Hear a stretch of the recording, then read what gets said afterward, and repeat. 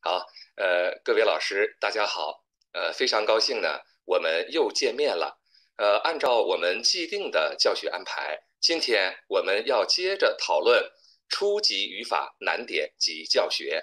那我们的具体内容是初级阶段语法教学的讲、练、用，呃，实际上呢就是语法教学的全过程。呃，那么我们来回顾一下，在昨天的呃最后一部分，我们提出了三论分层对应的教学方案。呃，也就是说，通过语义进行语法的导入，基于句法进行形式的操练。啊，然后呢，根据语用功能设计和实施课堂活动和任务。那在开始今天的讨论之前呢，呃，关于语法教学。有两个问题呀，我要做以说明。首先呢，是语法教学的知识属性问题。那我们都知道，汉语国际教育，我们这个教学内容一般是分为语言要素教学和语言技能教学这样两个部分。那前者呢，主要包括汉字、语音、词汇和语法。那么按照这个标准来说，语法教学呢是语言要素教学。技能教学我们都知道是听说读写，那么语法教学呀，一般被我们认为是语言要素教学。语言要素教学的特点是什么呢？它强调这个陈述性知识。什么是陈述性知识呢？就是用语言呢来表述出来的知识。呃，我认为呢，这个理解呀也对也不对啊。对的方面呢，是我们确实是需要让学生了解这个语言点是怎么回事儿。啊，老师呢一般是通过提问的方式，呃，从学生的嘴里说出来，形成这个陈述性的知识。那我说它不对的方面是什么？语法教学的最终目标呀，是要落实到技能上边来。那么也就是它能够参照语法规则进行听说读写。所以呢，最后语法教学是要落实到技能上边来的。如果你没有落实到技能上，那么我们说这个语法教学呢，没有达成最终的目标。所以我认为啊，我们对语法教学的定位比较准确的，应该是这样表述的：我们说语法教学始于语言要素教学，而终于语言技能教学。所以呢，它具有一个过程性的特征，也就是说，从懂到用，呃，是全覆盖的。但是其中有一个问题，从懂到用，是不是一蹴而就的？你懂了，是不是马上你就会用了？我们说不是这样的。所以我们看这个像眼镜一样的图示，中间是什么？是操练。呃，我们说要经过反复的操练，死去活来的操练，呃，我们的语法教学才能够上升到技能的层次。呃，其实呢。呃，这个呃，语言教育家 Larson 他早就提出了 grammaring 这样的一个概念，语法技能的概念。那么对于这个概念呀，呃，我们在呃介绍语法练习的时候会再次的进行讨论。呃，第二个我要强调的问题是，我对当前这个语法教学存在的呃一些问题的呃这个想法。那么我认为啊。语法教学目前的一个薄弱的项目是什么呢？是这一段方框当当中的这一段，呃，也就是从语义到句法形式这一段。因为语用这一块儿，各位老师是非常重视的，尤其是在海外的教学当中，我们特别强调这个教学的活动性，是不是？那么，但是从语义到句法这一块，我们的呃这个导入和操练做的却没有那么的充分，所以。今天呢，我们在谈教学案例的时候，我会一直侧重从语义入手啊，进行这个语法的导入，也侧重通过语义和形式的配对理据来进行练习的设计。那这也是今天呀，呃，我们的一个重点的内容。好，那么今天的内容具体的说，包括四个方面的问题。首先是激发认知，导入语法。第二部分是信息加工操练语法，第三部分呢是以言形式应用语法，最后呢有一个舆论，我们要探讨汉语国际教育当中的知和行的问题。那么其实啊，第一部分到第三部分，请大家注意，呃，我的标题是激发认知、信息加工、语言形式。实际上，这是从习得论的角度来进行命名的。呃，也就是说，我们希望能够激发学生的认知，希望学生来进行加工，希望学生来语言形式，这是习得论视角的命名。其实呢，我也可以从本体论的角度来进行命名。呃，那么就是基于语义导入语法，基于形式操练语法，基于语用应用语法。这就是今天我们要讨论的内容。好，首先呢，我们来看呃第一部分。激发认知，导入语法。呃，这时候呢，我们提出了一个巧力的概念。巧力呀，呃，是亚圣孟子提出的。那么巧力是怎么回事呢？所以第一个问题是巧力来源于语法的本体特点。第二部分呢，通过揭示语义形成导入巧力。第三部分通过句法操作形成导入巧力。那么大家可以看到，实际上，呃，这个第二个问题和第三个问题，我们要探讨的都是如何形成导入的巧力，只是他们的角度不同，一个是从语义的角度，一个呢是从句法操作的角度，所以我们说有两条线索。好，刚才我提到了说亚圣孟子说巧力胜智，那么明代哲学家王阳明他进行了解读。呃，他是怎么解读的呢？他说：“巧力实非两事，巧意指在用力处，力而不巧，亦是图利。我们在做任何事情的时候啊，呃，都希望能够事半功倍，是吧？我们要采用四两拨千斤的巧力。那么在教学当中尤其如此。那王阳明是怎么解读亚圣的巧力胜智呢？”呃，其实他说的是技巧啊和力气啊，实际上并不是两回事儿。那么我们说巧啊，说的是什么？说的是我们在用力的时候的那个巧。如果你只知道用力气，呃，不知道技巧，那么你这不是白费劲儿吗？你这不是瞎使劲儿吗？所以，我们固然要努力啊，但是在努力的时候，我们要考虑技巧的问题。啊，所以呢，这就是教学的巧力。在导入的时候，我们特别希望语法导入阶段，我们特别希望使用巧力。为什么？啊，因为我们希望在最短的时间内，把这个语法的信息、语义信息和句法信息传递给学生，啊，然后呢，用最短的时间，然后学生一下子明白了，哦，是这样啊。有一种这个恍然大悟、醍醐灌顶的感觉。那么我来举一个例子啊，来说明呃这个巧力的作用。呃，这个例子呢是 verb 过，也就是汉语的经验体。呃，在这个呃呃孙老师的这个问卷当中，呃有的老师提到了了和过的问题，啊动态助词的问题。那么过和了其实都说的是以前的事情，那但是它们又有什么区别呢？没错，呃，这个事情全都是已然完成的，都是过去完成的，对不对？但是过呢，它进行了一次抽象，进行了一次什么抽象呢？也就是说，既然你过去有了这样的经历，那么你就获得了权利。你获得了什么权利呢？因为以前我做过这样的事儿，所以我了解了，那么我就获得了评价的权利，也就是我有话语权。呃，我能够进行介绍，对细节进行介绍，我能够评价，是吧？我能够描述啊细节的问题，这就是你的权利。我举一个例子，假如你的朋友有一天他突然跑过来告诉你说：“，你知道吗？我去过上海。”然后他不说话了，那这时候你会是什么反应？那你会说：“你说呀，你有毛病呀。”你去过上海了，然后怎么回事啊？你有什么感想啊？你得说一说呀。所以呢，verb 过一般都是作为一个语段的首发句，然后呢，他就开始介绍后边的评价性或者是描述性的内容。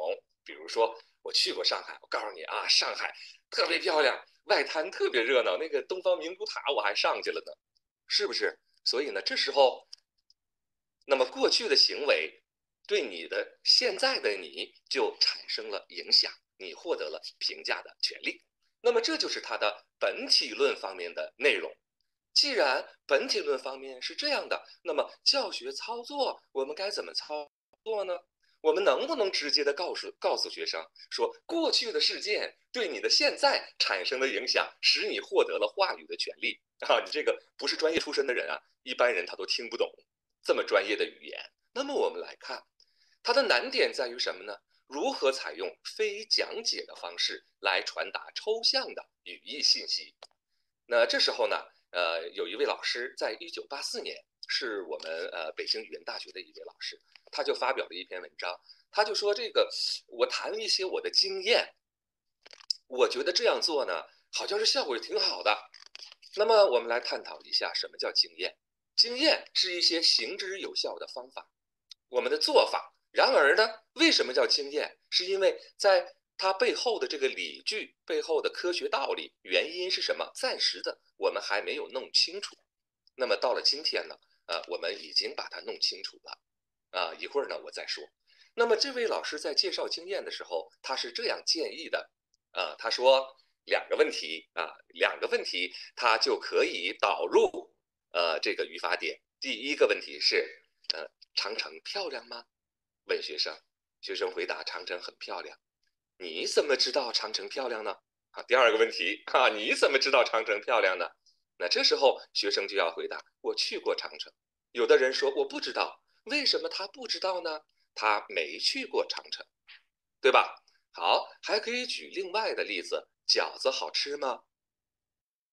学生回答：好吃。你怎么知道好吃呢？啊，我吃过。他不知道，为什么他不知道呢？那他没吃过，这样目标句就已经形成了啊！你看，简单的那么几个问题啊，那么呃，这个 verb 过就被导出了。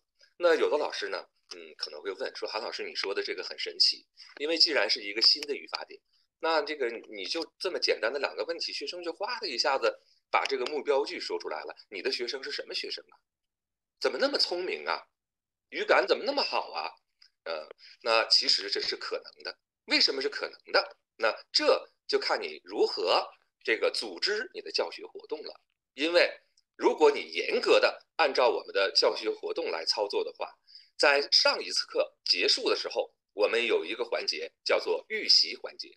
在预习的时候，我们要认真的领读下一次课要学习的生词，过一定是出现在生词表当中的。在领读的时候，教师会简单的扩展，过吃过吃过饺子，没吃过饺子，过去过去过长城，没去过长城，啊，那么如果你操作的更严格，比如说我所在的教学单位，我们都是有预习单的，啊，都是白纸白纸黑字的规定了你要预习哪些内容，简单的扩展内容啊，你是要读的，你还是要写一写的。那么在这样的情况下，只要老师稍作点拨。学生就能够做出反应，这也是当前翻转教学的意义。Flipping，为什么我们要翻转教学？不就是要让学生为上课做好准备吗？提高我们的教学效率。那么我们来看一下这个教师他的引导思路是什么呢？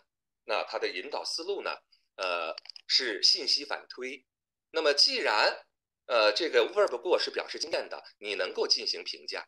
所以呢，呃，我就呃先问你一个评价性的问题。所以长城漂亮吗？饺子好吃吗？这都是评价性的问题，学生需要做出反应。好，你评价了，不管是肯定的评价还是否定的评价，反正是你评价了。你评价了之后，我就质疑你的评价权。你怎么有这样的评价权利呢？那你就不得不说出来了你的经历了。这个时候 verb 过。它的肯定式或者否定式就完全导出了，所以呢，他采用的方法是什么呢？用问答的方式就学生已知的经历入手，如细节问题、评价性问题，最后提问你怎么知道，促使学生说出目标句。你看，verb 过我们一般被认为是一个比较呃抽象的这个呃教学内容，但是其实呢，呃如果操作得当的话。那这个老师呢，他就是用了四两拨千斤的方法，呃，把这个信息呢成功的传递给了学生。但是它具体的理论内容是什么，我们能告诉学生吗？我们还真不能告诉学生。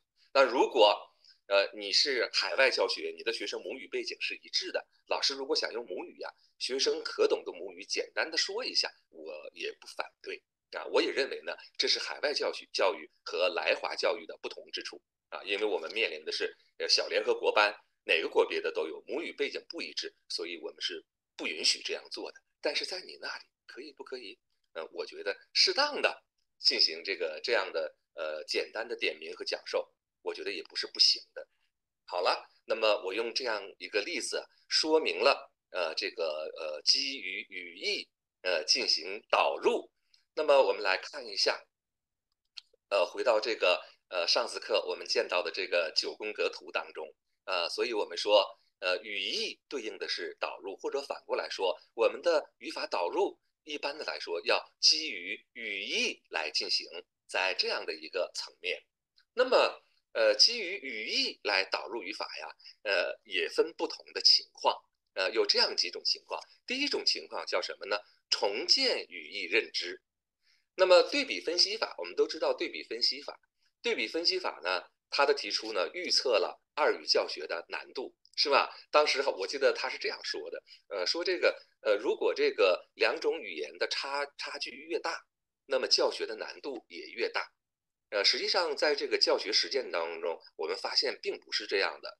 呃，如果两种语言它的这个差距特别的大，反而呢，母语对学生的影响呢会减减少。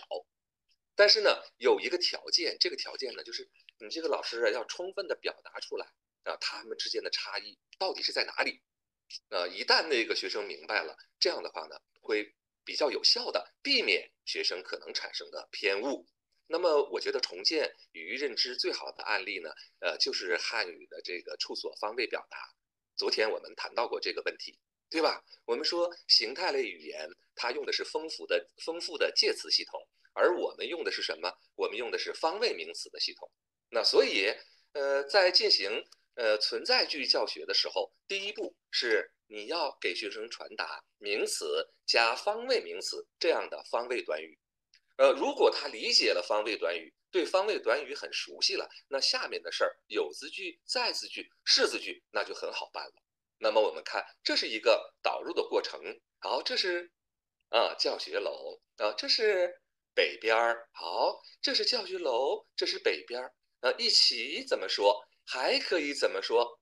对，教学楼北边儿，这是教学楼北边儿，这是这是这是，啊，然后呢，呃，你要给这个区域，呃，让学生有这样的一个认知的区域。那么，呃，学生熟悉了这个区域之后，啊，处所方位表达之后，啊，昨天我也说了，你可以拿汉字卡片，或者是拿图片都行啊。那这是什么地方？这是图书馆，啊，放在不同的区域。图书馆在哪儿？图书馆在哪儿？那这时候学生就会很自然地说出“图书馆在教学楼北边”这样的句子，是不是？所以呢，你不能一开始啊就讲存在句。那首先你要把这个名词加方位名词表达清楚。在教学的时候，我甚至呢这样做。呃，那个时候呢，我的操作语言是什么呢？一个东西或者是一个人，然后呢一个地方，我会不断的说。比如说，我先展现了一个书包，那我的课堂语言，一个东西，书包，一个地方，书包里面，后边呢也是这样操作的啊，一个东西，椅子，一个地方，椅子上边，一个地方，椅子下边，一个地方，椅子旁边，那一个人，好，他是安娜，这个地方，安娜前边，这儿，安娜左边，这儿，安娜右边，那儿，安娜后边。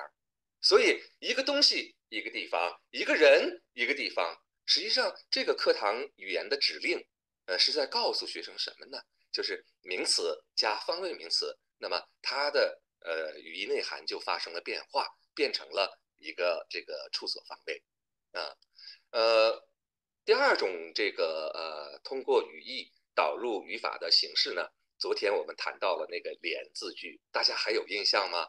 当时我是呃写了一个汉字 “biang biang 面”那个彪是不是？有的老师在下边马上就回复了，说是彪彪面”的彪对，是这样的。那么昨天呢，也给大家介绍了，说呃这个呃，它的特点，语义特点是什么？首先是有一个梯度，有一个层级性的梯度。呃，这个梯度呢是有上限的，然后呢也有下限。上限就是最上边的，然后下限是最下边的。那呃，它是怎么表示强调的呢？它是通过否定上限，否定全部，呃，通过否定肯定下限，肯定全部。昨天我们谈到了这个问题。实际上啊，也许有的学生。真的，真的，学生会问，因为我们讲连字句的时候呢，呃，实际上，呃，有副词可以使用两种，我们可以说连什么什么都，连什么什么也，哪一个更强调？哪一个这个给人的感觉是更加强调的呢？显然是那个都。所以呢，其实啊，呃，这个连什么什么都，它呢说的是最上边的或者最下边的。如果是连什么什么也呢，不一定是最上边的。可能是第二个，也可能，比如说这个这个字连大学生也不认识，那那么如果它不是最上边的，呃，我们常常用的是也，那这个呢就是连字句当中都和也的区别那，你可以简单的告诉学生，真的有学生提出这样的问题。那么既然连字句是表示强调的，我们在进行呃这个。我们在进行设计的时候，教学设计的时候，我们该如何设计？昨天我们已经谈到了这个问题，今天我不再谈了。但是这个语义模型，请大家记住。呃，一会儿呢，我们在讨论生成性练习的时候，呃，仍然会使用这个语义模型。那么这是语义模型建构语义模型。呃，第三种呃形式，通过语义导入语法的形式呢，呃，我们叫做图示引导语义。呃，大家经常使用图示的方法，呃，因为什么？它可以使抽象的东西变得更加具体，是吧？有很多东西老师真的说不清楚，你可能就是想用尽量简单的语言，你会发现也说不清楚。那这个时候怎么办呢？我说不清楚啊，我展示给你看，我画给你看，我给你一些图片，是吧？那么我们来看一下图示引导语义啊，呃。比如说，最典型的例子呢，就是那个趋向补语。有的老师提出了趋向补语的问题。那么，我们来讨论一下趋向补语难点在什么地方？难点有两个。第一个是那个参照的人，就是说话的那个人。说话那个人在里边还是在外边？在上边还是在下边？这决定了什么？这决定了主要动词是进还是出，是上还是下。好了，这是第一点，参照的那个人说话的那个人。那么第二个难点呢，就是趋向。呃，我们说趋近这个话语说话的人，远离说话的人。好了，这里边就出现了问题了。趋向和远离，学生懂吗？肯定不懂。昨天呢，我提到了教师话术的问题啊。那么我们应该怎么让学生理解呢？那这时候呢，我们可以说。离他近了还是远了？哦，离他近了，其实呢就是趋趋向。离他近了还是远了？哦，离他远了。离他近了，我用来还是去？离他远了，我们用它用来还是去？实际上这两个问题你弄清楚就可以了。那么，所以在我们展示这个图示的时候，这两个问题啊，我们是要问的。好，这是你。你在里边还是在外边？哦，你在外边。那你看他，他进还是出？哦，他想近。好，那他近，离你近了还是离你远了？哦，离你远了。那离你远了，我们用去还是来？我们用去。所以我们怎么说？他想进去。啊，再看第二个例子。现在你在里边还是外边？哦，你在里边。那他想。他想进，那他离你近了还是离你远了？哦，离你近了，离你近了，我们用去还是来？我们用来，所以我们怎么说？他进来了，啊，所以呢，上下啊，我们也是用这样的一个导入方式，是不是这样？所以呢，这两个关键性的问题都是语义的问题。那这两个问题啊，我们展示清楚了，而且通过提问的方法传递给学生。那我想，可能他就能够比较好的理解这样的场景了。那刚才呢，我用几个例子说明了，呃呃，这个怎么呃，这个基于语义来导入语法。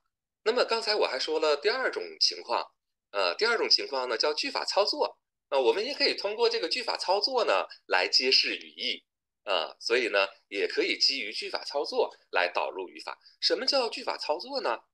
各位老师还记得昨天我们在讲 verb 遮存在句的时候，呃，王峰老师是不是有这样的一个操作？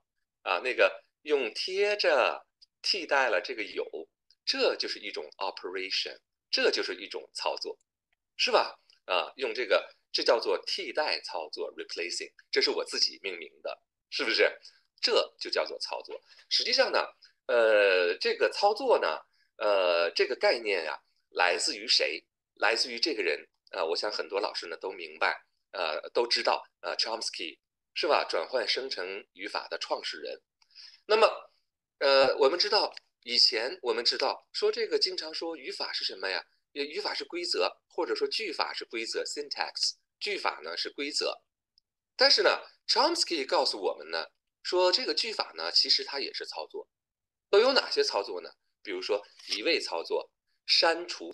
插入操作、替代操作等等。那在这里边呢，呃，我们不讨论转换生成语法的问题，那是理论语言学的东西。但是我觉得 Chomsky 这样的观点给我们的语法教学呀，呃，提供了一个启示。这个启示是什么？啊，这个启示呢，是也给我们的语法观带来了新的启示。上次课我们谈到了，说我们汉语教师的语法观呢，应该是广义的语法观，对吧？那今天我们再来改变一下，再来丰富一下。第二点，语法是规则，语法也是操作。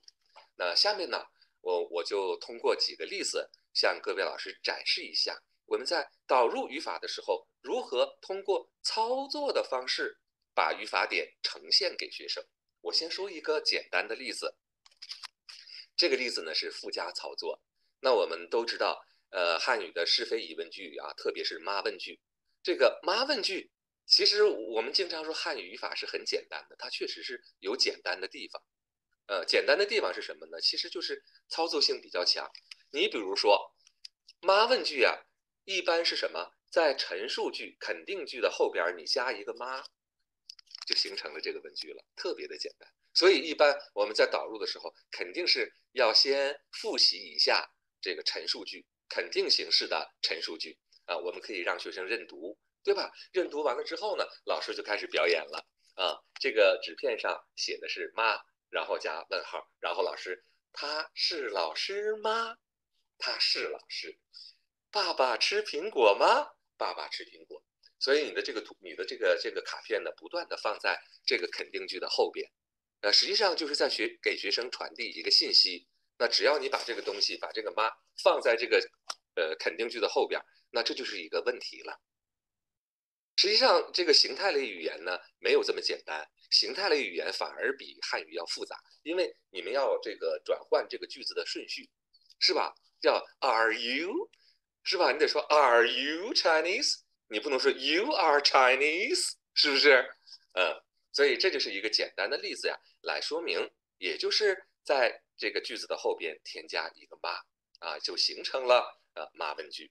那么我们再来看一下，呃，这个第二个操作，第二个操作呢，呃，我把它命名为插入，啊，就是呃，在这个前边后边的中间啊，你插入一个东西。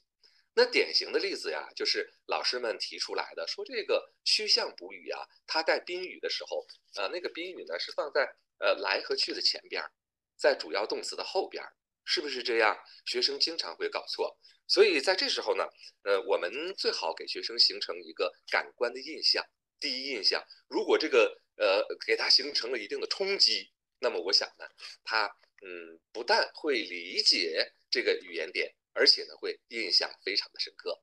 那么，比如说现在的我的手里边呢，有一张这个纸片，呃，你们可以看到我的折纸方式是什么，是吧？你看，打开了，合上了，打开了，合上了，是吧？这个纸片上写的是什么？写的是他回韩国去了。但是我折上的时候呢，学生只能看到他回去了，啊。他回去了，但是这个韩国呢藏起来了，呃，正好可能你的呃一个学生呃可能回国了，呃，我我我用这个方法的时候是一个韩国学生，他叫赵成载，我觉得那是十几年前的事情了，呃，但是我还记得他的名字，因为那次上课，后来那个呃用这样的方法之后，他们还还还这样还鼓掌，觉得很好玩，啊，我就问学生说赵成载回去了吗？呃，展示卡片。那他看到的就是回去了，会说他回去了。好，他回哪儿去了？啊，韩国出现了，他回韩国去了。呃，那这时候学生就形成了深刻的印象，觉得哦，这个这个原来是是这样啊，这个这个地方应该是。那你看韩国在哪儿？在去的前边还是后边啊？在前边。对了，呃，要是有一个地方，那么这个地方应该在来或者去的前边。好了，这就是展展展开后的效果，呃，那么呃，还有一一种操作呢，我们叫并联操作。并联操作呀，呃，是汉语的一个比较重要的语法手段。我认为它也是一种这个语法手段。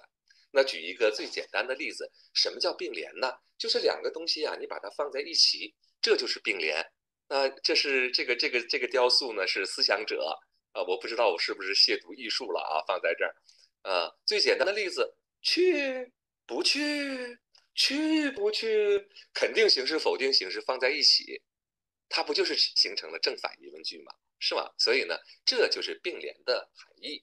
那么有很多老师啊提出了问题，说那个的字补语句的问题，也就是情态补语。说老师那个你们提问的时候啊，说学生经常说那个那个就说的的时候，他游泳得很快这样的句子啊，他不会说前边的部分啊，所以呢，一个动词。如果有宾语的时候呢，他他在宾语的后边说的，这是一个挺常见的、比较普遍的问题。为什么会出现这样的问题呢？就是因为他对汉语的这个语法手段呢不是很了解。那么我们来看一下，在本体论方面，我们有两个依据。第一个依据呢是吕书香先生，他很早的时候啊，呃就说过这样一句话，他说呀，汉语的补语句啊，实际上包含两个主谓关系。主语和谓语动词之间，还有呢，动词和补语之间。那比如他游泳游得很快，他做什么？他游泳，这是一个主谓关系，对不对？但是这个很快说的是什么？说的是游泳，游泳怎么样？游泳很快。所以呢，补语和这个动词之间的关系啊，就好像是主语和谓语之间的关系，差不多是一样的。其实是这样的啊，是这样的。那么我们就知道了一个信息。啊，原来这个情态补语句的字补语句呀，实际上是两个主谓关系。但是我们都知道，每一个主谓关系都可以成为一个小的句子，是不是？那也就是告诉我们了，这个的字补语句实际上我们可以把它分成两个小的句子，对吧？好了，他游泳，是吧？然后呢，游得很快，我们可以把它分开。那么这两个。这两个部分之间是什么关系呢？那向开喜老师呢？他说了这样一句话，他也做了研究。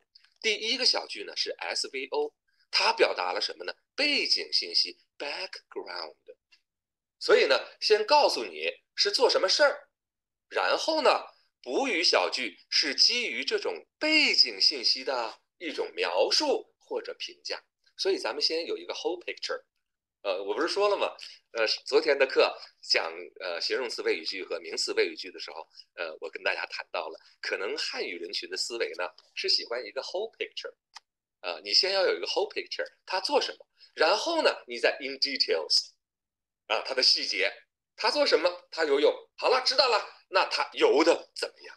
这就是他们之间的语义关系。所以在教学时候，我们要采用先分后合的方法，也就是。把情态补语句分成两个部分，啊，然后再把它们合起来，叫做并联。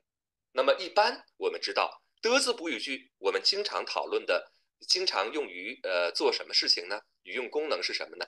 兴趣、爱好、能力、特长等等，对不对？我喜欢运动啊，我打篮球打得很好，我足球踢得不太好。我们是不是经常这样说？所以我们在导入语法的时候，首先要导入做什么？要导入做什么？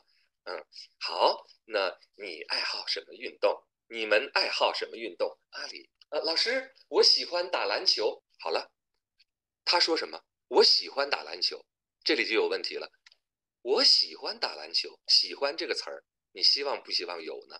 你不希望，你只希望我打篮，他打篮球，对不对？那个喜欢是多余的，怎么办？第二次提问，好，同学们，他做什么？只能通过第二个问题强行的去掉那个 喜欢。他做什么？他打篮球。好的，你打的怎么样啊，阿里？打的怎么样？嗯，打的很好，老师打的很好。好了，阿里做什么？阿里打篮球，打的怎么样？打的很好。一起怎么说？阿里打篮球，打的很好，是吧？做什么？做的怎么样？这是今天我们学习的语法，它就呈现出来了。然后呢，你可以在呃学生呃只有这样一个例句，有的学生还不理解，你可以再导出第二个例句、第三个例句，这都是可以的，是不是？老师们最关心的呢，呃是这个把字句的问题。我们来看一下替代操作，实际上采用的是替代操作。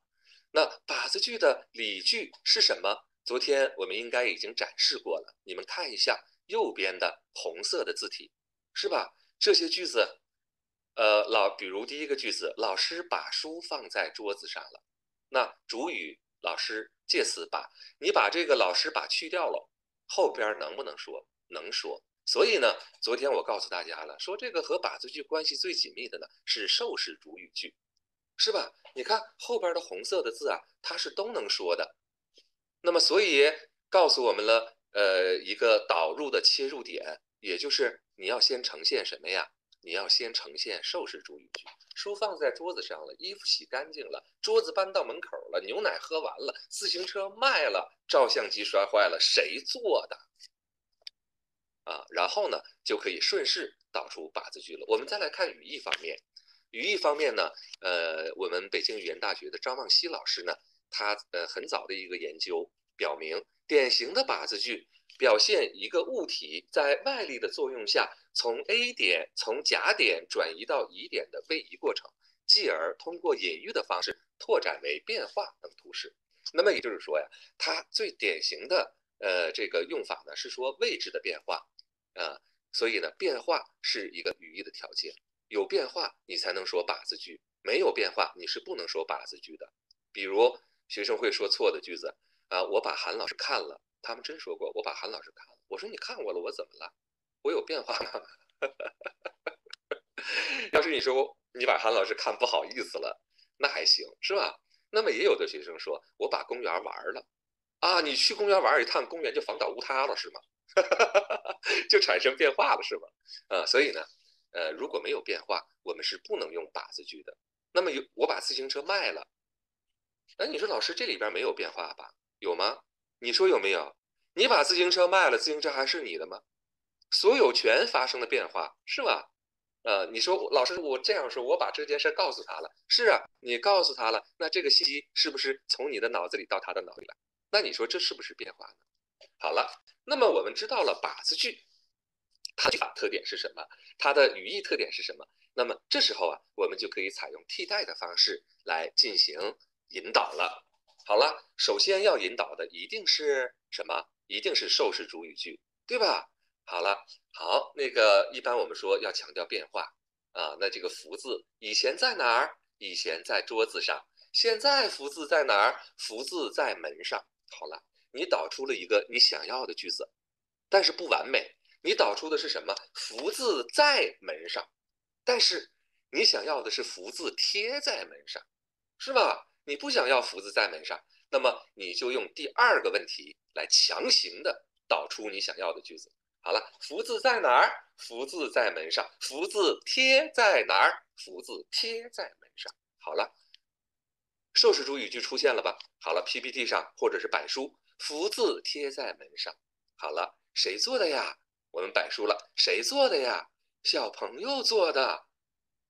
好好的，那。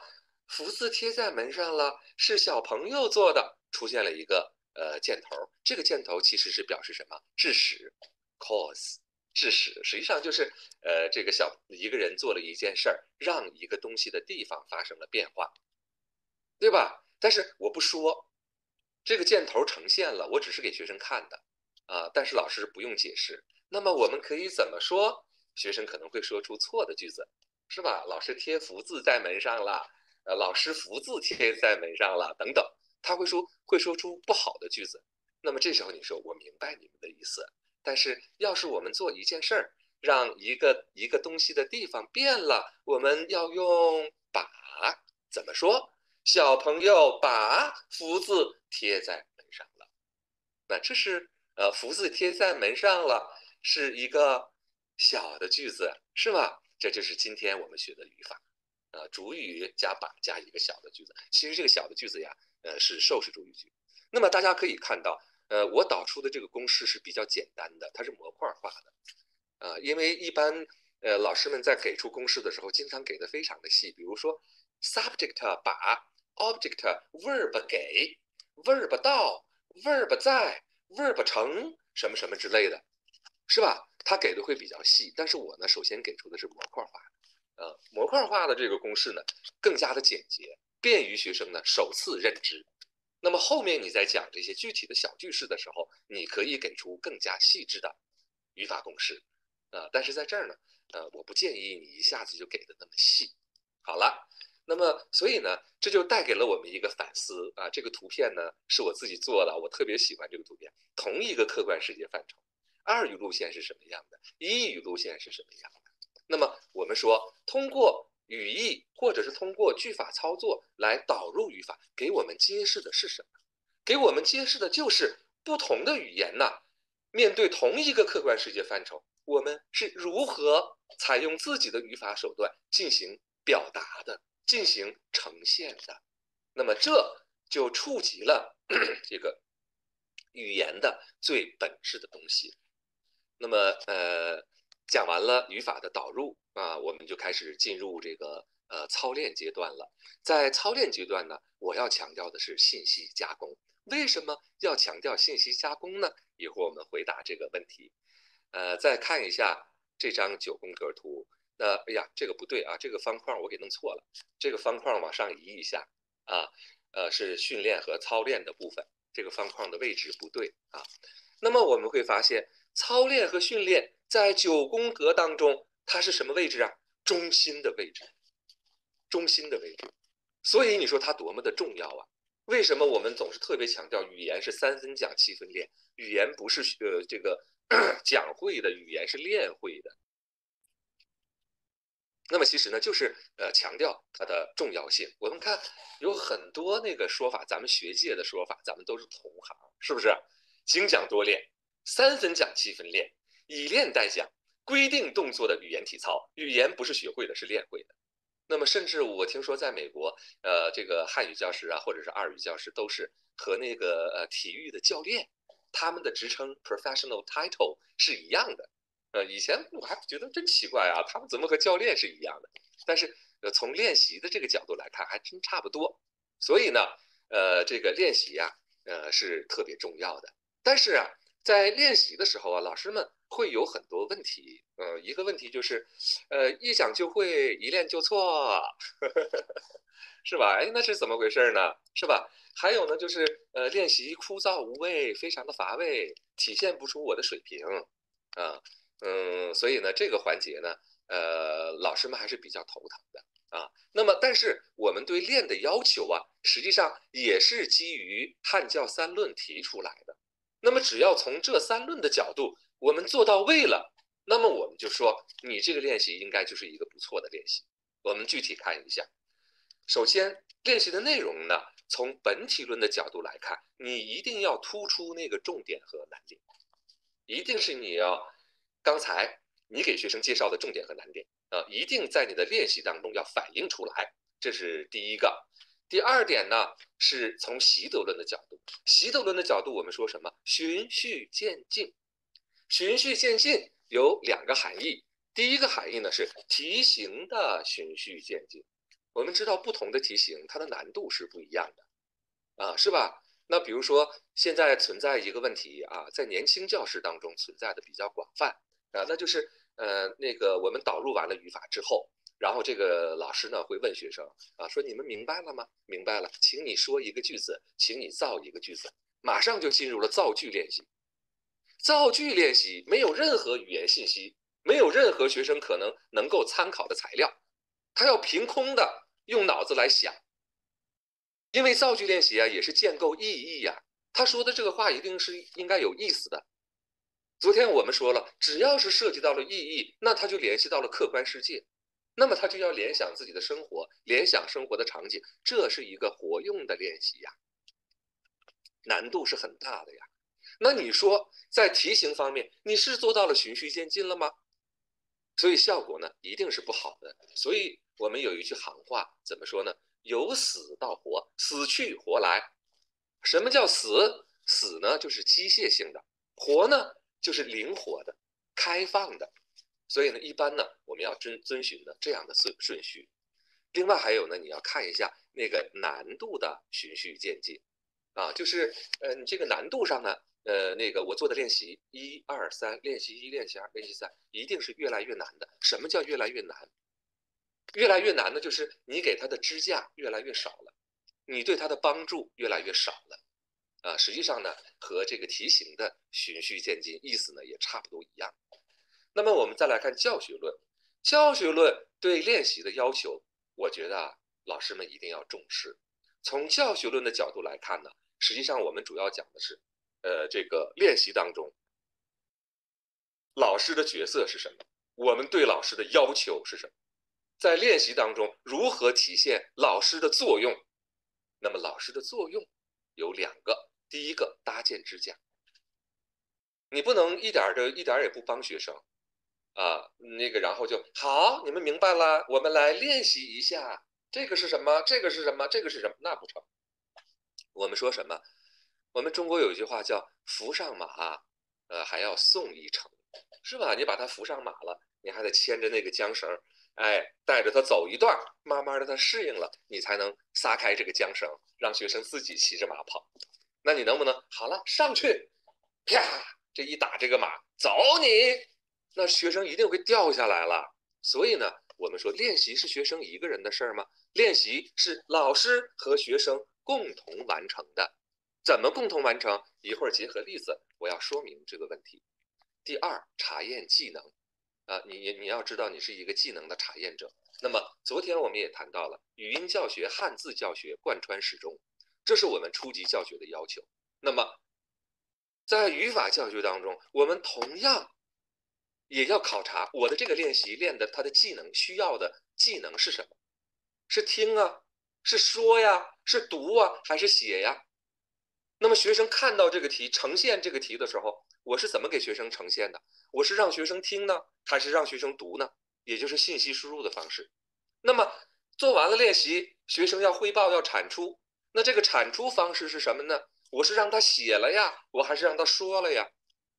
所以这些东西呢，是我们需要评估的。把这个呃语法教学呢，最后啊导向到技能方面的要求。你没有要求，他就没有进步。那我们经常说，哎呀，我这个学生呢，呃，这个发音呢不准，声调乱飞。啊，还有呢，就是汉字认读始终上不去。那么，呃，这是一个过程性积累的东西。你在平时的练习当中有没有要求啊？如果你每天这样要求，每天这样要求，我相信他慢慢的是会有进步的。啊，那么在这个过程当中，练的过程当中，我特别强调的是什么呢？突出信息加工。学生的脑子是一个机器，信息加工器，你给我转起来，你得给我思考，你是有思维能力的。没有信息加工就没有二语习得，为什么？因为信息加工是一个很重要的心理过程，通过信息加工呢，才能够使得短时记忆变成长时记忆。那么我们的教学诉求是什么？长时记忆，是不是长时间的记住，深深的印在他的脑子里？所以呢，要让他进行信息加工啊。好了，呃，我们知道练习的方式题型是很多的。题型非常多，机械性练习、连词成句啊、判断对错、完成句子等等，对吗？那么在有限的时间里，今天这有限的时间里，我不想面面俱到的给大家介绍这些题型，我只想介绍一种，这一种呢，我把它命名为生成性练习。什么叫生成性练习呢？回顾一下昨天，呃，我给大家左边的，呃，我给大家呃这个呃展示的一个呃练习的题型，就是呃王鹏老师的那个教学案例，呃练习部分。我说呢，呃，这个如果说鸡蛋里挑骨头的话，那么我建议呢增加这样的练习。我们看一下，衣柜里有几件衬衫挂着，对吧？然后呢，呃，用 verb 遮怎么说？那学生需要说出衣柜里挂着几件衬衫。好了，操作的时候我们说怎么带着学生？刚才我们说了，怎么陪着学生一起做练习呢？好，第一个，第一个，你要和学生一起做一道题，让学生明白做什么，你不需要再解释了。好，我们读一下，衣柜里有几件衬衫挂着，用 verb 遮怎么说？衣柜里挂着。几件衬衫很好，再说一遍，衣柜里挂着很多衬衫。好，我们再读一下第二个、第三个、第四个、第五个，很好。那他们用 verb 遮怎么说呢？你和你的朋友商量商量。好了，第二个，让学生再读一下这些文字信息，其实是在训练什么？是在帮助他们这个认读汉字，一边认读汉字，一边在脑海中输入信息。然后呢，你才能撒开手。好，你和你的朋友商量商量。他们商量的时候，你干什么？你会走到学生中去，和学生进行互动。学生有问题，你要知道，这叫反馈 （feedback）。那你说，你如没有这样的时间的话，教师的反馈什么时候进行呢？是不是？好了，那么我们说这样的练习啊，它有一个特点是什么特点呢？和我们导入语法的时候的那个思路是不是一样的呀？从语义到句法形式，对，是一样的。只不过刚呃呃上一个阶段，我们是从语义到句法形式导入了语法。现在我们仍然不放弃这个思路，这个思路多好啊！你想想，我导入一个语法，我还得查它的语义是什么，然后呢，它的形式特点是什么？那我导入完了之后，我就放弃这个线索了吗？我不放弃。刚才是老师带着你们。这个生成了这些例句，现在我把这个条件都给你，你再来给我走一遍这个路，对吧？所以呢，我们说这就是生成性练习。我们来看一下它的特点。第一，根据理论语法中关键的语言理据编写语言材料。语言理据是什么？就是从语义到形式的过程，是吧？那你看这些是不是呈现了它的理据呢？第二个特点，要求学生对语言材料中的语言形式。进行信息加工，那么你看，学生互相讨论了，他要进行信息加工了。呃，外边有几个人？老师说了有几个人，他们站着。嗯，那个 verb 遮 verb 遮，老师说了 verb 遮 cover 有。来，我们 cover 教室外边站着几个人，对不对？对，教室外边站着几个人。那你看，学生之间这个这种互动，在商量的过程当中，对语言本身进行思考，这是不是信息加工？是吧？第三个，第三个特点，按照一定的操作程序生成目标句。那个操作程序不就是刚才我我我学生学生这个体现出来说出来的吗？老师说了，用 verb 这 cover，呃，这个有，这就是一个操作程序，这就是一个 procedure，是吧？那么我们说这就是生成性练习以及它的三个特点。我我相信，呃，学生会会觉得这个挺有意思的。有些时候吧。呃，我们会，呃，老师会比较着急的，可能是上课的时间有限，是吧？呃，不会给学生时间讨论，呃，很少会恨不得马上好，这个怎么说？阿丽你说这个怎么说？安娜怎么说？你都没有给他一点思考的时间，你你想他说得出来吗？所以呢，我们说有些时候我们不要做事情的时候不要太 aggressively，太侵略性的，是吧？你就跟着我走，我始终拽着你走，那不行。有些时候停一停，站一站。给学生思考和讨论的时间，那么你的这个课堂是挺有意义的，因为不管是任何科目的教学，我们都希望能够激发学生的思考，对吧？呃，上次昨天我也说了，说语言语言学习是能推动思维发展的，以及中小学生我们也能推动他的思维发展。那么我们认为呢，这样的练习啊，它有三个好处。第一个好处是什么？就是从语义啊到形式这个过程。他们的配对理据能够反复的呈现，是吧？那么规则语法的规则也能够被学生反复的提取，啊，学习者的信息加工呢，也紧扣了汉语的特点。为什么说紧扣了特点呢？因为我的这些材料就是根据汉语的特点来的。你每读一个材料，那汉语的特点就要呈现一次；你每完成一个句子，你就要使用一次那个规则，你就要调用一次那个规则。第二，语法导入环节呢，它是忠于这个呃句法公式的归纳，因为最后我们要总结公式，点明这个句法公式。哎，那我这个公式已经总结出来了，那么现在你就可以基于这个公式和语言材料来生成句子了呗，是不是？那这时候呢，你就可以演绎了。所以我们说呀，这个时候呢，它是自然发生的，符合教学的逻辑顺序，是吧？那个公公式完了，好，已经有公式了，就好像我们那个呃呃教学生包饺子一样，对吧？呃，我给你，我刚才告诉你了怎么包饺子，对不对？我告诉你了怎么包饺子。现在老师给了你饺子皮儿、饺子馅儿，材料我都给你了，有饺子皮儿、有饺子馅儿，来吧，包吧。现在我们都来包饺子吧，你自己得包一包，你不能光听我说，是不是？第三，学生的思维活动呢，由归纳和理解上升为演绎，语言意识又前进了一步。那么我们也提到了，演绎是一种高级思维活动。呃，它能够根据规则创造性的理解语言，创造性的生成语句，那也就达成了二语教育的最终目标。好了，那么呃，我们又回到了 Chomsky，刚才我们谈到的这些规则，什么移位啊、删除啊、插入啊等等这些规则呢，我们不要放弃啊，我们不要放弃，我们仍然可以呃进行基于这些操作规则，仍然可以设计练习。那么你看一下这张表格，刚才在导入的时候，我们就使用了这样的结构化表格。那么在练习的时候，我换一批内容，它就是一个很好的练习。那么我们看一下第一行，我们要给完整的给学生引导，对吧？给学生给学生提示。那么第二行、第三行内容就越来越少了，支架越来越少，要最后甚至甚至呢，让学生自己啊写一个句子。它的难度呢是越来越大的，要求是越来越高的。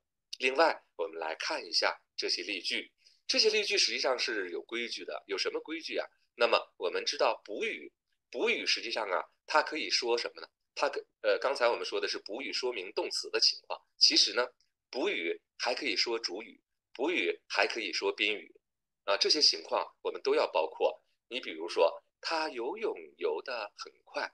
那这个很快说的是什么？说的是动词游泳。我们再看下边的例子，他写汉字写得很漂亮。这个漂亮说的是什么呀？汉字吧。他说的是汉字吧。所以其实呢，补语呢也可以指向宾语。那么第三个句子，他吃烤鸭吃得很高兴。那这个高兴说的又是谁呢？说的是主语，说的是他高兴。所以其实啊。呃，在设计练习的时候，我们说全面的练习有这样一个原则。我想，呃，苏老师在讲语法教学原则的时候，其中一定谈到了全面练习。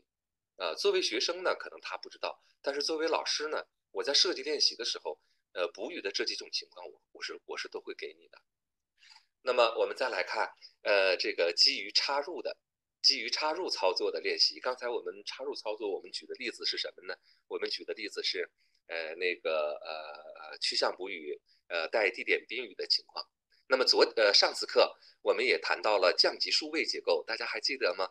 一个句子变成了一个短语，降级数位结构。妈妈做饭，妈妈做的饭。那么呃教教学上呢，我们认为它是呃插入的。这样做呢更加的简洁。在练习的时候，我们该怎么练习呢？昨天我展示了这个图片。那我就不再说了。第一步有两步，第一步呢要把句子变成一个短语，对吧？第二步呢赋予该短语句法功能。那么我们再来看一下，我们也可以使用表格的形式来进行这样的练习。那你看，实际上第一行，第一行呢就是程序，呃，操作程序。第一步你要怎么做？第二步你要怎么做？第三步你要怎么做？然后呢，你就能生成一个很好的句子了。第一步是什么？第一步是你看，呃，我给的也是完整的信息。一般的来说，我们都要给学生这样的支架。好，第一步是从 S V O 到 S V 的 O，苏珊写字，那么 S V 的 O 怎么说呢？啊，一个 phrase 怎么说？苏珊写的字。好，我们看第二个，这个 phrase 应该在哪儿呢？看一下，什么很漂亮？字很漂亮，什么字？苏珊写的字。所以我们说苏珊写的字很漂亮。那下边的怎么说？是吧？也可以提供给学生，让学生去思考啊，讨论来生成这样的练习。呃，实际上呢，在第一次课当中，昨天的课当中，呃，我给大家强调了说汉语词语的多功能性，呃，也也告诉大家说，呃，实际上我们在呃这个进入中高级，尤其是从从初级到呃中级的过渡，那个动词是特别重要的，是吧？那么实际上啊。呃，动词的这个叫动词的名物化用法，就是好像按照形态类语言的语法，好像这个动词变成了名词一样。那么这个是非常重要的。为什么它很重要呢？我我们来看一下，呃，这个是我们专业汉语的呃一个涉及到的一个问题，啊，就是讲这个格式归功于归功于这样的书面语的格式。书面语的格式首先要做的是什么？常常做的就是你要把一个句子变成一个 phrase，变成一个短语。你看，呃，第一个例子啊，归功于我的目标句是什么？公司的顺利发展归功于所有人的努力。那老师给的条件是什么？给的材料是所有人都努力，公司才会发展。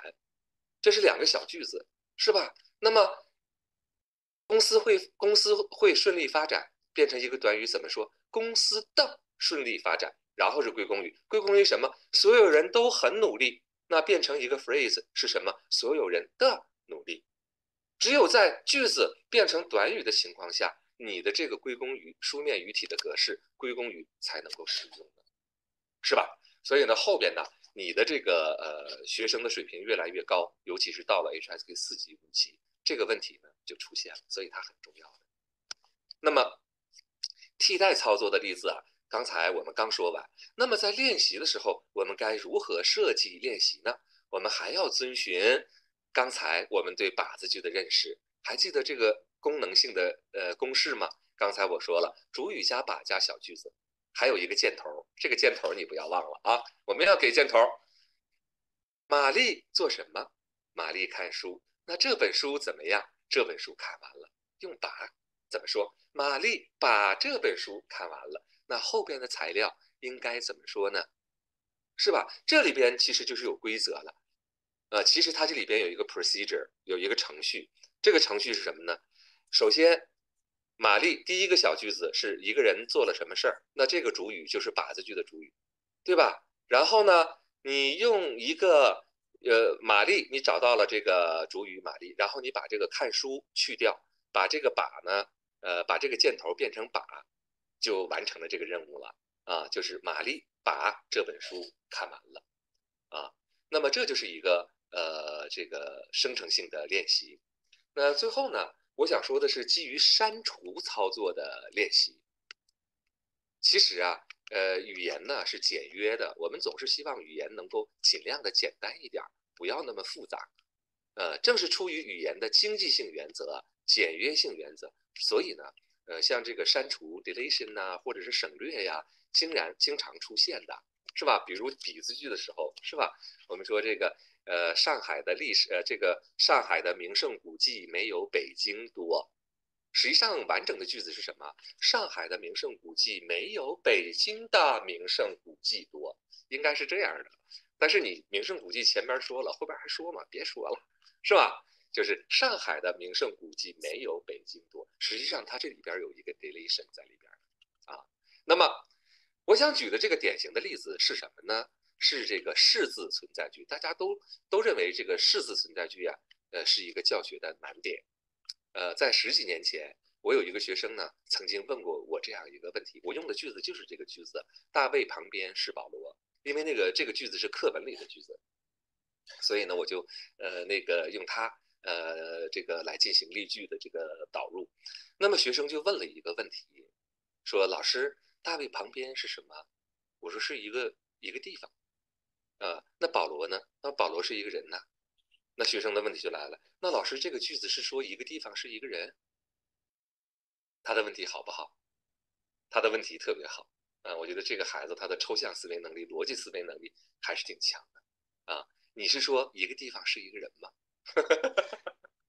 那这个问题我们来思考一下，它违反了呃这个逻辑，他们的范畴是不一样的，是不是？那么为什么会产生这样的情况？啊，那么实际上我认为啊，这是式子存在句啊，实际上是一个省略句，它是由两个句子啊缩合成一个句子的。哪两个句子呢？第一个句子啊是什么？第一个句子呢？第一个句子呀是大卫旁边有一个人。然后呢，这个人是谁呀？这个人是保罗。大卫旁边有一个人，这个人是保罗。一个人，那个人差不多一样，是吧？所以，我们大卫，大卫当然是人了，大卫当然是人了，不用说吧？所以，那个情境当中已经告诉我们了，这个信息是 redundant，可能是多余的，我们是可以省略的。大卫当然是人了，那大卫旁边是保罗，实际上。就是大卫的旁边有一个人，这个人是保罗。那么在练习的时候呢，呃，那我们也可以基于这样的呃考虑来进行设计啊。比如第一个，教学楼前边有一个楼，那个楼是图书馆。那你都教学楼了，那当然是楼了。图书馆也是建筑啊，一般的来说也是楼，是不是？所以呢，就可以说呀，教学楼前边是图书馆，是吧？那我想，可能这个式子存在句我一说，各位老师就清楚，在教学呃有有有有字句、在句字句和式字句三种这个静态存在句当中，式字句是最抽象。为什么它抽象？因为它经历了这样的一个过程。那么刚才呢，我讲的几种方式呢，呃，都是呃基于操作 operation 来进行教学设计的。那么可能你会问，韩老师，这个生成性练习一定要基于 operation 才能进行吗？不一定，呃，主要是基于 operation 来进行设计的。但是其实呢，我们也也有别的方法啊。这个方法是什么呢？呃，就是框架，框架啊，scaffolding 啊。我们有两种框架，一种是语义框架，或者叫语义模型吧，啊，一种呢是句法框架。啊，我们给出你一个 frame，给出你一个框架，在这个框架下来指导你，呃，进行这个语言的产出。我举的例子呢是表示变化的了。昨天呢我也展示过了这个例子，对不对啊？那各位老师看是吧？其实呃这是不是一个很好的这个练习方式呢？啊，学生之间讨论，然后呢最后生成这个句子，啊，我们认为呢这是一个很好的情况。这个公式本身呢就是一个很有意思的公式。大家看左上方，左上方这个公式包含两部分。左边呢，实际上是语义的部分，subject 就是主语。然后呢，以前是什么样的？是 A 状态。现在是什么样的？B 状态。那么最后浮现出来的句子是什么呢？是 S B 了。这个形容词或者是呃其他词语，我们要用的是以前的状态还是现在的状态呢？应该用现在的状态。那例句呢？树叶红了，它瘦了，是不是？所以呢，我们会使用呃这样的框架啊，引导学生练习。你看第一行也是。好，我们说什么？树叶以前是绿的，现在呢是红的。树叶变了没有？树叶变了。树叶怎么了？树叶红了。那我们看下边的情况，是吧？啊，然后呢，呃，这个句子呢就产出了。啊，这也是遵循了从语义到句法的呃过程。我们看，我们给出了它一个框架。你看这个公式呢，就是一个框架型的公式，里边呢体现了语义的特点。那么，呃，实际上呢，我们说基于语义框架呀，我们还可以优化表达。什么叫优化表达呢？就是我给你提供最基本的语言材料，呃，这些材料传递的信息是什么信息呢？最基本的语义信息。这些信息是最基本的语义信息，但是我要求你用一个很好的表达把它说出来，而且呢，这种表达可能不止一种。啊，我们在学习那个即将进行体，啊，要什么什么了，快什么什么了，就要什么什么了，快要什么什么了。我们学习这一组呃这个格式的时候呢，我们要给学生提供信息，比如我提供最基本的语义信息，改说句子。我们来看第一行，现在几月？现在九月。小雨的姐姐几月？小雨的姐姐几月结婚？十月结婚。好，我们可以怎么说？小雨的姐姐快要结婚了。对。小雨的姐姐，还可以说小雨的姐姐就要结婚了，很好。好了，那现在是九月，十月是上个月还是下个月呀？哦，下个月。那我们可以怎么说？小雨的姐姐下个月就要结婚了，很好。现在是九月，小雨的姐姐十月结婚，还有多长时间？还有一个月。那我们还可以怎么说？小雨的姐姐还有一个月就要结婚。所以，你看。这是不是一个优化表达的过程，多样性表达的过程？我只给你提供最基本的语义信息，基于这些信息呢，你可以有多样化的产出形式，是吧？也是调动这个学生的思维。那么关于连字句的练习，我们该怎么办呢？那么既然连字句啊，它是表示强调的，那我现在就强调给你看，我就让你强调，怎么强调呢？现在你用连字句怎么说？这个框架我要给你，他怎么样？他怎么样？他怎么样？他怎么样？他怎么样？他怎么样？你和朋友商量商量，用连字句怎么说？我们发现这样的问题呢是功能性问题，它是开放的，答案呢不是唯一的，答案可以是五花八门的。不管你怎么说，只要你达成强调了就可以。我记得有一个学生就说了，他很讨厌，连他妈妈都不喜欢他。呃，这个答案是令我们非常的惊悚的。是吧？是吗？啊！当时我们班学生全都发出了惊呼的声音。呃，但是虽然他很惊悚，但是我们发现这个学生真的是理解了连字句是如何表示强调的，他已经表达到了极致，是不是？特别的有意思，我很难忘这个句子。那么关于这个，呃，刚才我们谈的是这个语义框架或者是语义模型。那么，呃，句法呢也是有框架的。实际上我简单说一下，就是主谓谓语句。昨天我给大家展示了，呃，这个呃主谓谓语句的呃一个小练习，这实际上呢就是遵循了主谓谓语句的句法框架。你看层次性，最上边是我，然后下边是我的各个部分，啊，然后最后呢是如何进行评价和描述，是吧？所以这些都是根据什么来设计的练习呢？都是根据它本身的特点来设计的练习。当然呢。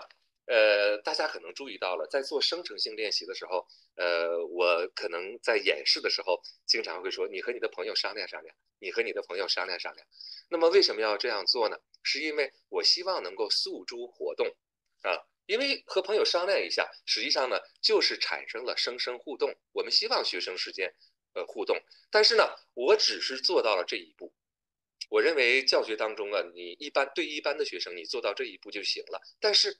有些学生他比较高级啊，他这个这个就是很聪明，这个班学生就是聪明，经常问各种问题。这个时候我们能不能提出更高的要求？这个活动能不能提出更高的要求？能。这个要求是什么？让学生说出来形式特征。刚才你说出了个这个这个句子，对不对？那你是怎么做的？那做完了这个练习，你再给我说一说这个语法这个公式是什么意思？你能不能用自己的话再来说一下？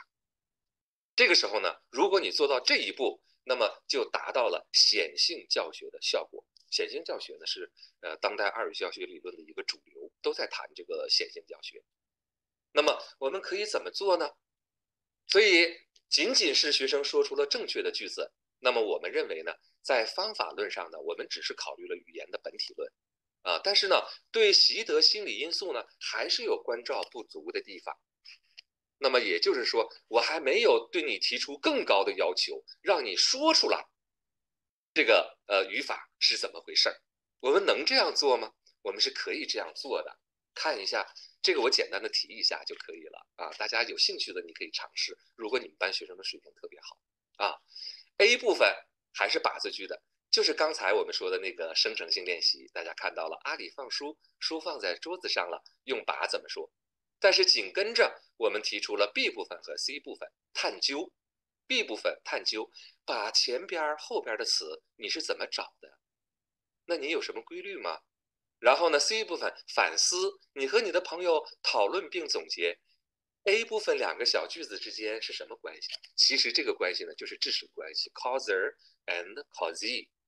那如果有这个嗯水平比较高的成人这个学习者啊，呃，他是能达到这个程程度的。二，根据这三个句子，你能说出把字句的特点吗？那我们在导入语法的时候，实际上那个话是老师说出来的，老师在说，我们做一件事儿，让一件事情发生了变化，我们用把的句子。那么实际上呢，呃，如果学生说的话，他可以用自己的母语说啊，呃，不要求用完全用汉语，用母语说，他没那个水平啊，用汉语，用母语说。比如，如果他说，我觉得两个小句子有原因和结果的关系，他们是因果关系，这就说的非常好，是吧？第三，根据你自己的理解写一写把字句的公式。你自己再表达一遍，根据自己的理解。所以呢，我们说这一步怎么做是选用的，根据高高级水平的学生，啊，这个不是说是高级阶段的，而是说这个学生的学能非常的强。当然了，呃，我们说我如果我们想呃这个体现学生这样的思维，你像这个判断题呀，也经常是这样的，判断对错。然后呢，你不但要判断，你还要说明原因。一般我们只是让学生做出判断。呃，但是我们没有要求学生说出原因，这是翟燕老师呢。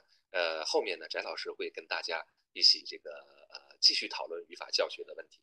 他提出的这个一个呃这个案例啊，我们说这呢也能够促成学生对呃语言汉语本体的更加深入的思考。那么刚才呢，生成性练习告诉我们什么？生成性练习就告诉我们了，语法也是一种技能。当我们谈论语言技能的时候，往往说的是听说读写，但是其实呢，grammaring，语法本身也是技能，我们叫做语法技能。这是呃这个 Larson Freeman 教授提出来的。他说，语法并不只是静止的语言知识，也是一种语言技能和动态的应用过程。那么刚才我们所说的这个生成性练习，是不是动态应用的过程呢？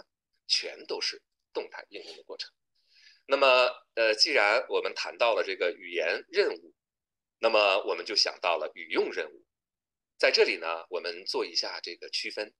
呃，语言活动如果变成了任务啊，或者是说活动也行，我把它命名为什么呢？语法输出任务啊，呃，叫 grammar output task。语法输出任务和语用任务一样不一样的？不一样。呃，我提出了九个呃不一样，我不想全都展示啊，咱们不做那么深的理论的探讨，你就记住这三点方框当中的第一个方框。我们说生成性练习，它是或者是语呃语法任务，它是内部视角的，它专注于意义和形式，全都是从语义到形式，而语用任务呢，专注的是功能，解决现实世界的问题。那么第二，语义句呃，这个语法输出任务呢，它是在语义句法的接口层面或者句法层面，而语用任务呢，它完全是在这个语用的层面。最后第三个方框，语法输出任务的产出一般呢就是一个句子，你能给我产出一个句子就行了。但是语用任务我们都知道，你不能只说一个句子，呃，你要说一个对话，呃，一段对话或者呃一个成段的表达，所以它们的层次是不一样。既然谈到了语用任务，我们就来到了语法教学的最后一个环节。我简单的说一下，因为老师们做的还比较充分，以言形式应用语法，也就是教学的最后一个环节。这里呀，我还是要用把字句为例来详细的说明一下我们在进行课堂活呃语法任务、语法活动、语法任务设计实施的时候应该注意的问题。第一个问题，以把字句为例。它的语用功能你能说清楚吗？你说不清楚。比如什么是处置？处置我们自己都说不清楚，我们怎么能让学生理解呢？那么我们的做法是什么？呈现最典型的语用场景，通过这个最典型的语用场景给学生留下印象，会觉得哦，可能是大概是这样的，要处理，要对这个东西做点事儿，我得处理它。好了，那么这是一个语用任务的设计。啊，这个时候呢，学八字句的时候，学生都要回国了。老师问：“你们来中国多长时间了？”哦，三个多月了，很长时间，很长，一定买了很多东西，对不对？对，我们买了很多东西。你们买了什么东西呢？好，阿里，你说一下。哦哦哦，好，阿里买的东西多不多？很多。他买了什么东西？哦，他买了一辆自行车，买了一台电脑，还买了很多汉语书。哦，对，可是我们就要回国了，对吗？那你的东西怎么办呢？是吧？好，阿里，你的东西怎么办？用“把”来说一说。啊，你的自行车怎么办？哦，我把自行车送给朋友，他的自行车他把朋友，他把自行车送给朋友，你的汉语书怎么办？啊，我把汉语书带回国，他的汉语书怎么办？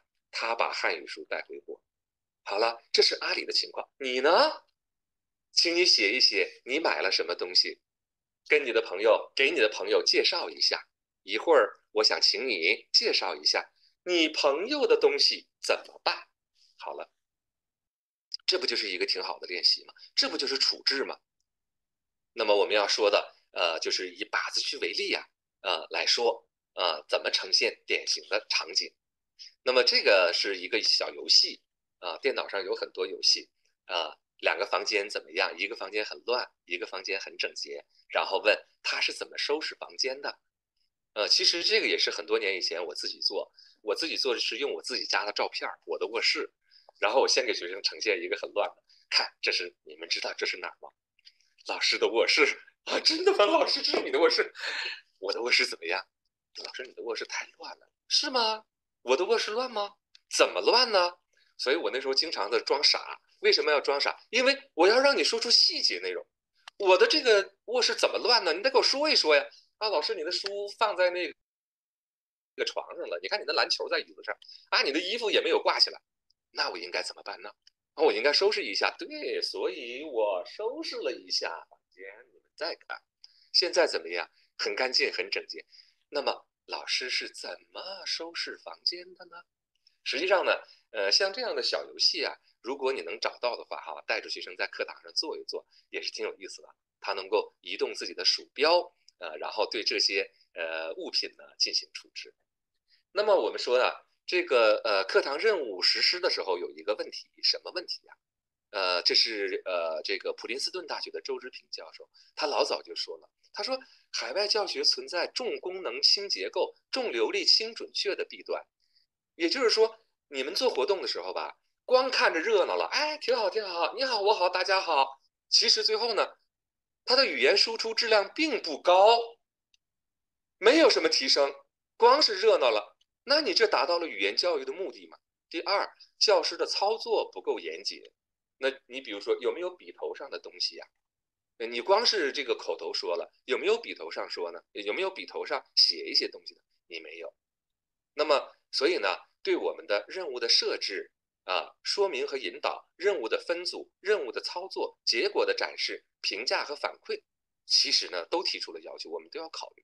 实际上呢，刚才靶子句的那个任务的案例呢，我已经说出来了。你看我那个设，我们那个设置是不是突出了它的语用功能？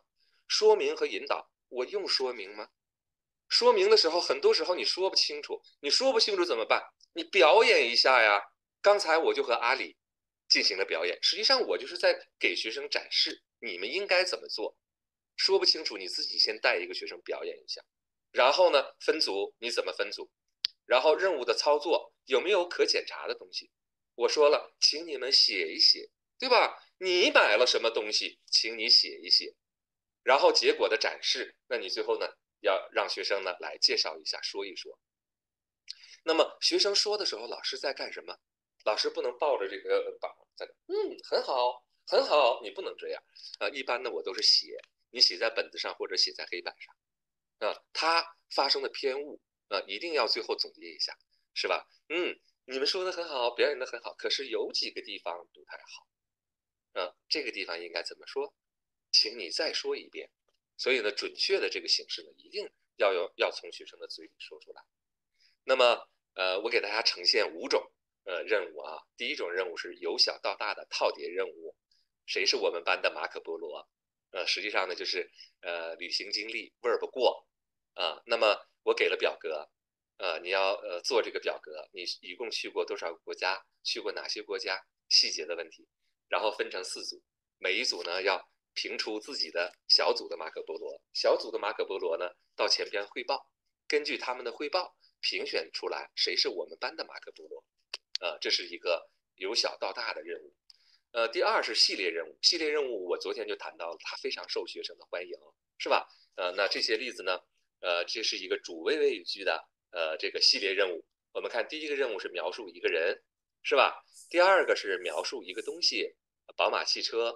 第三个是描述一个地方，啊，所以我们说系列任务啊，表达非常的丰富啊。那么呃，也给呃学生其他的提示，比如说我我我是描述一个人的，但是通过别人的汇报，我也知道了如何使用主谓谓语句描述一个东西或者描述一个地方。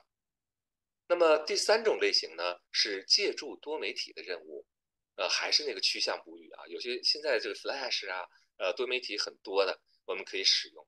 那个时候吧，我们就怎么办？趋向补语挺难的，我们就找到了一个动画片啊，那个动画片是小兔子，小兔子噔噔噔噔噔跑进来，然后又很快的跑上楼去，打开门跑进房间，然后打开柜子的门，衣服都掉下来了。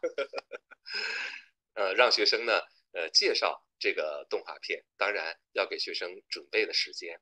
呃，你看这个动态的过程，动图很多，现在 Flash 动图很多。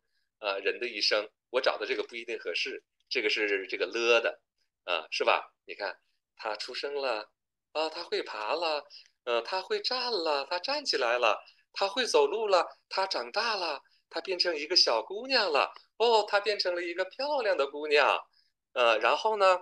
嗯，他怎么了？他结婚了，嗯，他有孩子了，他当妈妈了，他的孩子也会走路了，是不是挺有意思的？呃，第四种类型呢是建构真实意义的任务。那么这样的任务呢，实际上就是它的语法呃语用功能呢，我们真的很难找到它有什么语用功能，我找不到那个场景。这个时候我怎么办呢？我让学生自己采集信息，我不再给你提供基本的信息了，这些信息呢你自己去。采访去问，比如我们讲除了句的时候，那这时候呢，我会呃举一个例子，呃，现在我们四个人一起，然后呢，我会表演，我和学生一起表演。老师是哪国人？我是中国人。呃，阿里是你是哪国人？哦，你不是中国人。安娜呢？呃，约翰呢？好，他们是不是中国人？都不是，除了除了韩老师以外，他们都不是中国人。然后你再举一个除了什么什么也，除了什么什么还的例子。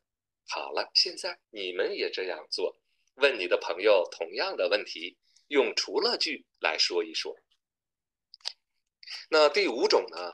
呃，叫做文化性练习。什么叫文化性练习？只要在文化当中关联到文化因素，我们说它就是文化性的练习了。呃，比如说阿里现在要去旅行，有两个地方，一个是上海，一个是西安。现在他不知道去哪儿才好，请你帮他出出主意。你觉得他应该去哪儿？啊，我们可以用比字句来说一说。我们可以比什么呀？历史、面积、古迹、小吃、交通、天气等等。那么我们看学生就要说了，我我建议他去西安。为什么？西安的名胜古迹比上海多多了，是不是？你建议他去西安，那你就得说出西安哪儿比上海好，是不是？那么我们看，我们借助的材料，一个是中国改革开放发展的高地上海，是吧？现代化的都市，还有一个是千年的文明古都西安，也就是中国的现在和中国的过去，是吗？那么呃，我呢一再的强调，呃，这个基于本体论，呃，来进行教教学设计，来凸显汉语教学的特点。呃，我想和大家分享一下加拿大的教育理论家 Stern 说过的一句话。他是这样说的：理论语言学可以为我们提供语言的概念、模型和思想，防止语言教学过于简单化。如果你不懂这些的话，那么你的教学很可能就是鹦鹉学舌式的。同时，还可以帮助语言教育学理论家对语言进行批判性和建设性的思考。否则，语言教学理论中的语言观将十分贫乏。那么，通过今天呃这两次的这个讲座。昨天我说了，我们的语言观是广义语法。今天我又说了，我们的语法是形式，也是什么？也是操作。最后呢，我用简单的几句话来，呃，这个作为舆论探讨一下，呃，二语教育当中的知和行的问题。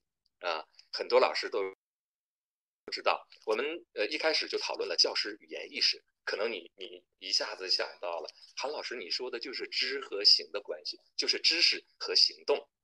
对你的理解没有错，我们知道，呃，这个王阳明呢，他提出了知行合一的理论，他是怎么说的？知在前，是行在后的。他是这样说的：知是行之始，行是知之成。那也就是说，你先知，然后呢，你才能行。那么，我们这个现代语言学家，呃，现代的教育家陶行知，陶行知呢，他很推崇这个知行合一的理论，呃，他为此呢也也改变了自己的名字，他改了自己的名字，他本来叫陶文俊，但是后来他改名叫陶行知了。哎，问题来了，那那个不是知行合一吗？那他应该叫陶知行啊，为什么他叫陶行知呢？因为他改变了知和行的顺序。他怎么说？他说：“行是知之时，知是行之成。”为什么他要改变了王阳明的这个顺序呢？知和行的顺序呢？他们之间有没有矛盾呢？我觉得他们之间没有矛盾。其实呢，他们的表述呢是从不同的立场来进行的。那王阳明呢，他是从教师的立场，作为一个老师。首先，我们要知，我们要有知识，我们要知道，然后我们才能行，我们才能进行教学操作。然而，对学生来说呢，哎，你最好要行动，在行动当中呢，让知识在你的脑子里扎根。所以呢，只有通过行，知识才能扎根在你的脑子里。只有扎根在你的脑子里，知识才是知识，那才是真的知识。所以呢，我们说。在二语教育领域当中呢，是教师通过自己的知变成行，通过自己的行呢，让学生来行，通过让学生来行，最后让学生获得稳固的知识。那我想最后这几句话呢，就扣到了昨天我们所说的这个教师语言意识。呃，我超时了，孙老师，内容比较多，没问题，谢谢谢谢韩老师，您的讲座太精彩了。我觉得这个我们大家肯定都是听得意犹未尽。这个过去的两天呢，韩老师用三个小时的这个精彩的讲座，嗯，我觉得套一句俗话来说，就是不仅授人以鱼，更要授人以渔。我们常说就是 这个，我们懂得技巧的重要性。嗯，其实以往确实在有一些这个培训当中呢，会偏理论；有一些培训当中呢，又过于偏实践。那么我想，呃，韩老师。昨天和今天的这两场讲座，呃，给我们充分的表达了知行合一，充分的表达了理论与实践相结合的重要性。呃，我想我们现在我们所有参训老师的手里不仅有大把的弹药，而且也更明白了弹药怎么来的，我们自己怎么结合实践，自己做这些弹药。这个对于我们未来的汉语教学当中呢，呃，是很重要。我相信您这两场讲座虽然从时间上来讲只有三个小时的时间。但是对于我们老师的受用来说，一定是余韵悠长的。那么现在机会难得，我们呃也请老师们如果有问题可以举手跟这个韩老师来沟通。呃，我们现在请啊这个阿雷吼叫阿乐活，我看你前面写的三个字哈，请那就请阿老师来跟韩老师进行一下沟通。我已经把你的这个权限静音权限解除了。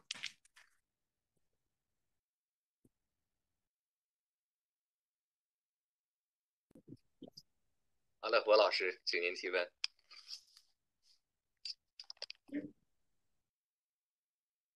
嗯，我忘了问题。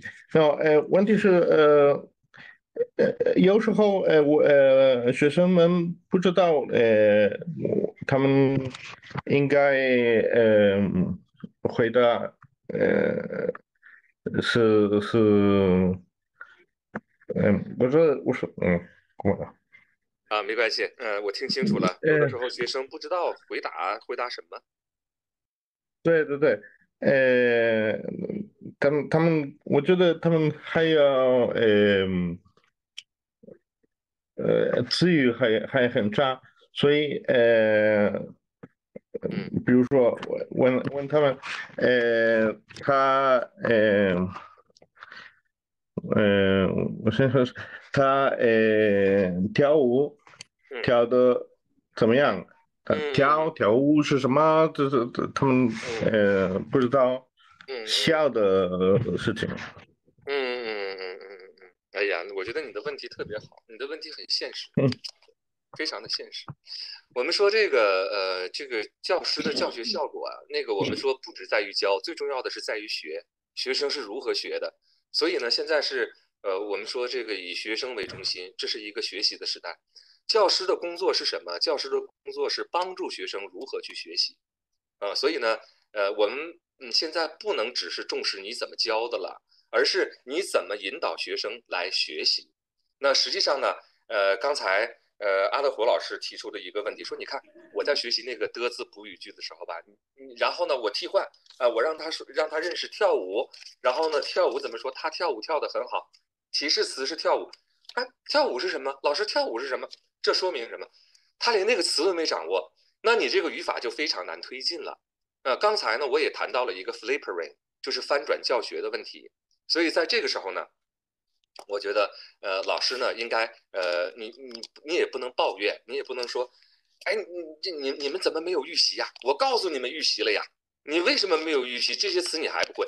那么我想呢，呃，与其用语言这样去指导学生没用，他听不进去，有的时候学生也挺懒的。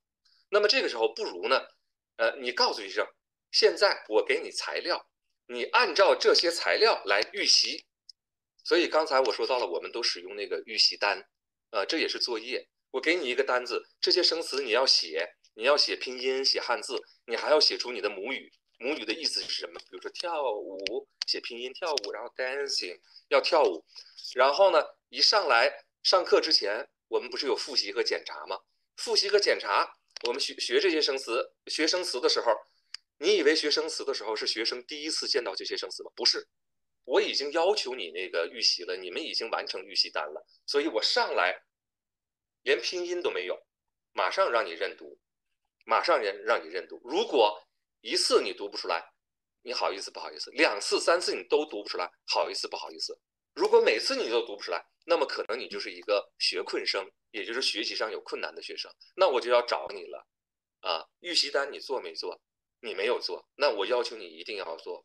啊，所以呢，呃，下一次如果他有了进步啊，这个词是啊，他说跳舞啊，真的啊，你很好，约翰今天很好，他认识汉字，他认识这个词，所以呢，呃，有一些东西呢，就是我们发愁的时候，与其在那发愁，我们不如想一些办法，就是我告诉你怎么做，我给你材料，你必须要完成这些材料，然后呢，一步一步的建构。呃，如果我们不想出一些具体可行的办法。那个教学很难推进的，啊，我在原来我在美国教学的时候就遇到过这样的情况，就遇到过这样的情况，啊，所以呢，那我我必须得让你去完成，而且我盯着你啊，我不断的给你发 email，啊，所以呢，慢慢的学生是会有进步的，啊，这个非常的现实的问题。好，这是我的回答。那我建议您呢，呃，这个呃呃要求学生预习的时候，就是怎么预习，那么哪些预习的工作你要完成。呃，要很明确的，呃，告诉学生，最好呢也给学生一些材料，好吗？阿拉伯老师，这是我的回答。嗯，好，谢谢，我们谢谢韩老师的回答。呃，刚才还有一位冯老师也邀请要要求解除静音，那我们请冯老师来和韩老师进行对话交流，谢谢。请您提问，冯老师。呃，那个谢谢您，韩老师，今天学到了很多，您讲的非常精彩。那么我现在呢，具体的呢有两个问题。当说到那个呃情态补语的时候呢，因为我们这边的学生呢，就是呃我我们有教他，OK，您呃我说中文说的很好，嗯，那么呢学生会说，呃因为他们的母语呢是就好像是英语，他会说 My my Chinese，呃 speaking very good。那么他就会说，呃，我的中文说的很好。那么我不知道，就是说，呃，我的中文说的很好和我中文说的很好这两句是不是都正确？都正确，都正都正确，都可以说是吧？都可以说，嗯，都可以说。呃，那个您的问题呀，我想再深入的谈几句。呃，您的问题呢，在语法教学当中呢，会有很多点啊会出现的。那也就是说呢，呃，同一种这个呃意思。我其实呢，我们是呃，而且是借助同一个语法，它他们是属于同一个语法的，但是他们却有不同的表现形式啊。你比如说那个矢量补语吧，比如呃，我看书看了一个小时，我看书看了一个小时，那么我们也可以说我看了一个小时的书，对不对？嗯，我们既可以这样说，也可以那样说，我们会遇到这样的问题。那么在教学当中的时候呢，呃，要。呃，以一个为典型，我们要抓住典型。那么以这个矢量补语为例，那么你觉得哪一个是最典型的？就是我看书看了一个小时和我看了一个小时的书，哪一个是最典型的？肯定是第一个句子最典型，因为第一个句子呢，它体现了汉语的这个呃语法手段，就和那个情态补语是一样的。你前边先说你做了什么，我看书，然后你再说你做了多长时间，啊，我看了一个小时。这种呢是最典型的，虽然它不是最呃，它虽然不是最短的，但是它是最典型的。那么如果出现这样的语法点，我们一定要抓住这个典型的这个形式。咱们别的先别说，别的你先别说那么多，你要把这个反复的讲练，把这个练透了之后，然后再引入其他形式。其实我们也可以这样说，来看一下，然后呢，再简单的讲练一下就可以了。要分清主次，呃，不要一下子就那个什么，不要一下子就把所有的形式都告诉学生，是吧？你引介语法的导入语法的时候，我们可以这样说，也可以这样说，完了，这麻烦了。学生这一下子就懵了，本来这个语法就有一定的难度，你又给他呈现了两种形式。那么关于学生的问题，呃，你可以说等一会儿，你先等一下，老师会回答你这个问题的。把它放在那儿，不告诉他。等你讲练完了之后，咱们说，呃呃，汉语教学就是这样的，我们做一件事儿就是一件事儿，做一件事儿就一步一步的走。完了以后我会回应你的，啊，所以建议你采用这样的方法。好，谢谢，谢谢老师。还有一个就是说。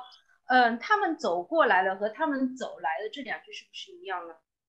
呃，你这个问题啊是非常的具体的，呃，那个我只能是凭我现在的这个感受来告诉你，过来呢是表示近距离的，啊，它近呃近距离的，然后那个来呢，呃，一般的来说不是近距离的，啊，呃，他走来了，其实你想一想，嗯，走来了，而且在口语当中实际上使用频率没有那么高，呃，在书面语当中可能要稍微的多一些，是吧？口语表达的时候，一般咱们都说啊，他走过来了，啊，咱们哎，你看那个冯老师走过来了，那咱们一般是呃不这样说，咱们说冯老师走来了，咱们会这样说吗？